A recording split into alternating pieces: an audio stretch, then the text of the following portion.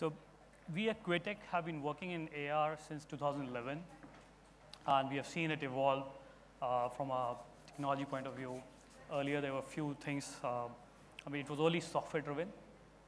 Uh, I'll give you. I'll talk about what is AR and how AR is being used in marketing.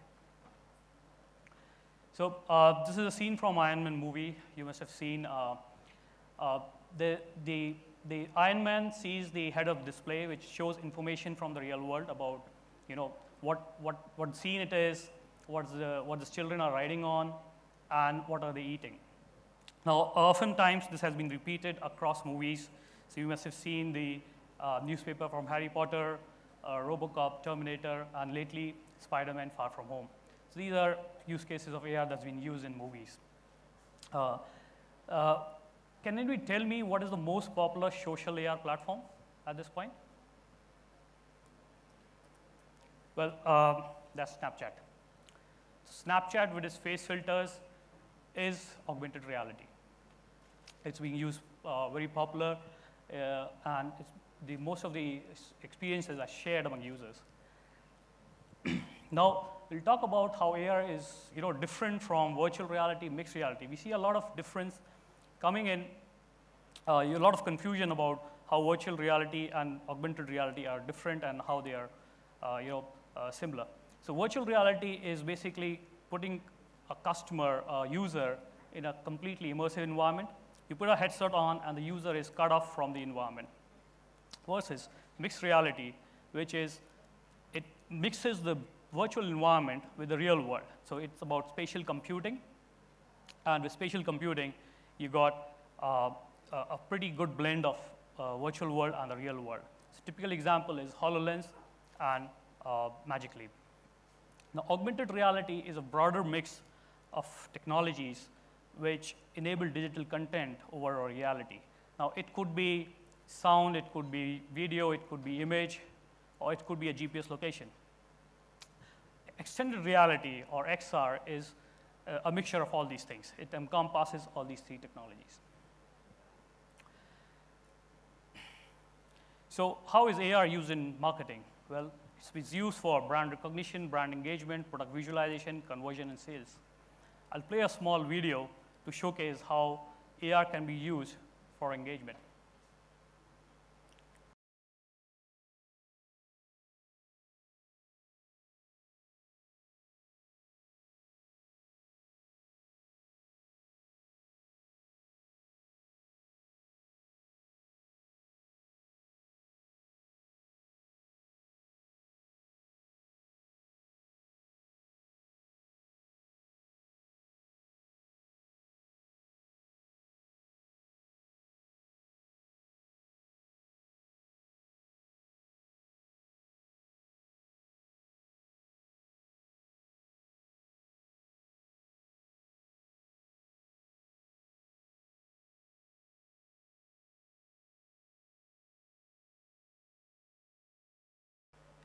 So, uh, I mean, such cases have been very popular in the wine industry.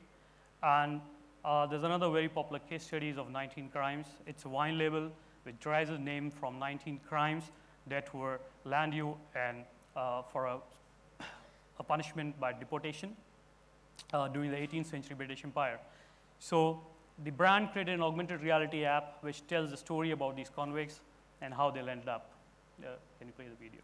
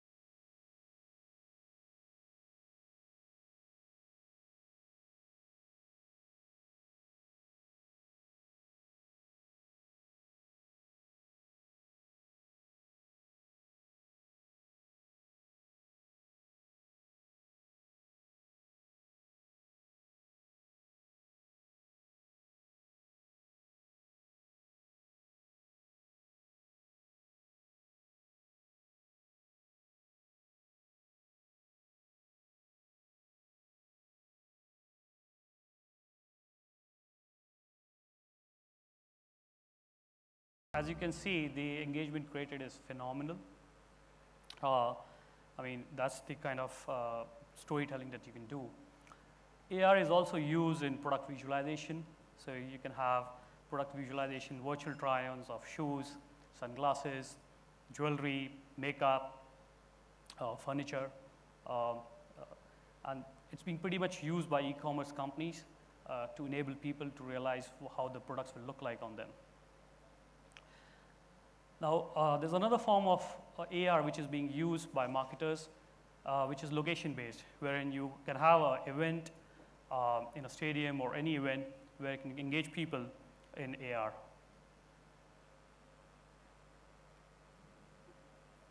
Back. Now, this is a very popular video from uh, SK Telecom, which uh, shows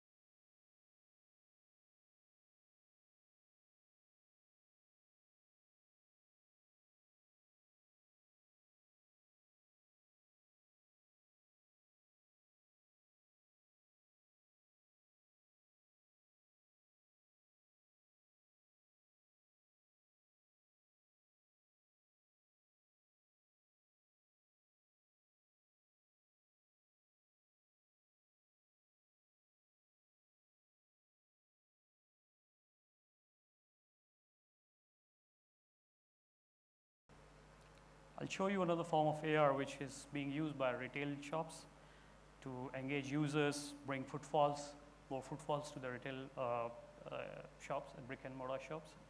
Uh,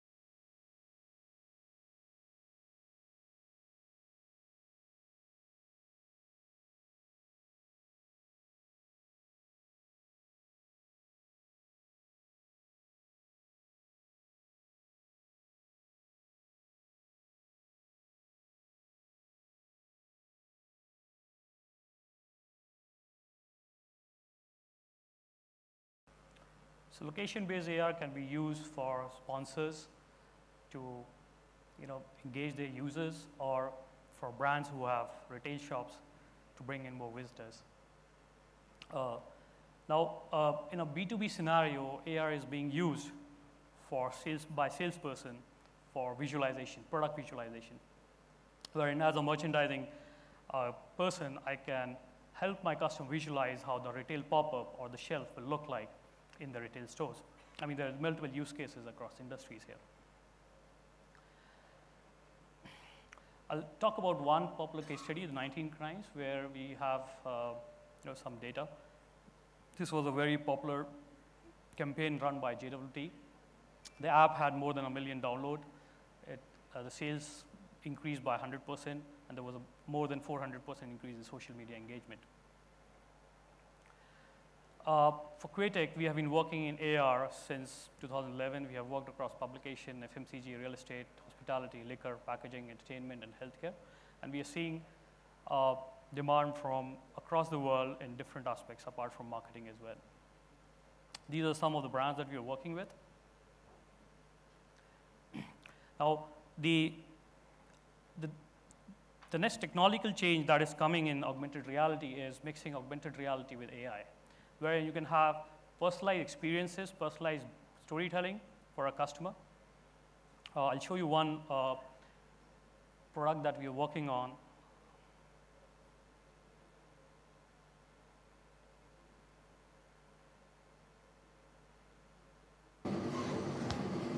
Hi, welcome to channel. I am Nick, your virtual brand ambassador. I would like you to ask you some questions related to your taste so that I am able to assist you better on selecting the right fragrance for you, shall I? Yes. What kind of fragrance do you like, mild or strong? Strong.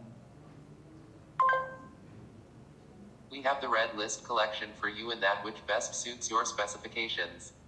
Are you fine with the price range of $500 to $1,000?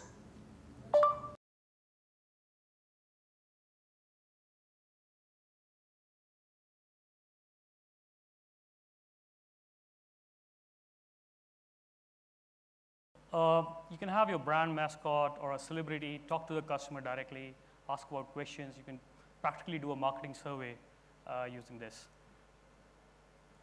Uh, we are seeing a lot of interest coming from uh, you know, brands, packaging companies uh, for this type of technology. Uh, the other thing that we see that is there are a lot of resistance from consumers to download an app. So, uh, and we see, you know, uh, up till now, WebAR was not up to the mark. It, there are some problems with WebAR. Now, all of these have been solved. And WebAR is now being uh, considered mainstream, where uh, brands are creating AR experiences, and you just need to scan a QR code to experience that. I think uh, that's all from our side. Uh, if you have any questions, uh, let me know.